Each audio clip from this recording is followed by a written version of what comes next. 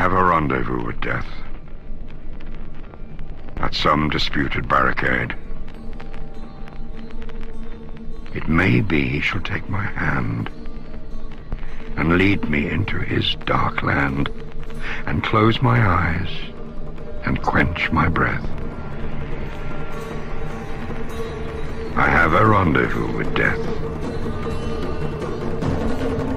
And I to my pledged word am true.